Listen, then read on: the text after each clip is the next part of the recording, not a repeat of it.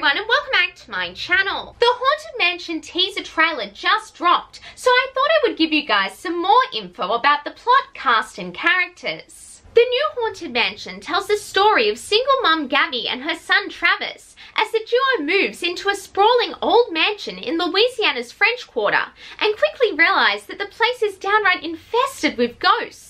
Rather than doing the sensible thing moving, or trying to deal with the haunting themselves, Gabbie enlists a ragtag group of spiritualists like Harriet the Psychic, a priest named Kent, as well as part-time tour guide Ben, to help get rid of the mansion's ghosts.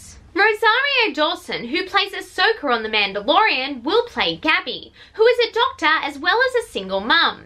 She purchases the mansion that she thought was strangely affordable. Chase W. Dillon plays Travis, Gabbie's nine-year-old son, who throughout the trailer seems very scared of the ghosts. Owen Wilson from the Disney Plus series Loki will play Kent the priest, who is hired to help exorcise the ghosts.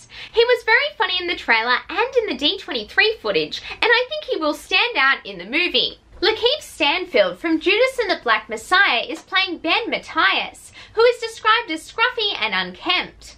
Ben was once an engineer working on a camera that could perceive paranormal activity, but after the death of his wife, his life fell to pieces. Now he's an unenthusiastic ghost tour guide in the French Quarter of New Orleans who no longer believes in the paranormal. Tiffany Haddish from The Carmichael Show will play Harriet, who is a hapless psychic who is hired to speak with the spirits at the Haunted Mansion. Danny DeVito from Hercules will portray Bruce, who is a smug college history professor.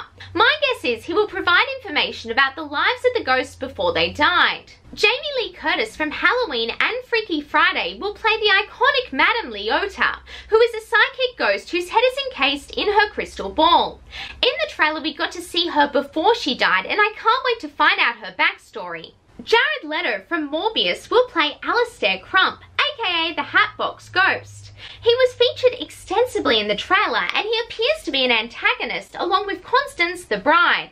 Additionally, Dan Levy, Winona Ryder and Hasan Minhaj will have roles in the film, but we don't know yet who they are playing. Anyway, that is all for today. Like this video if you liked it and please subscribe.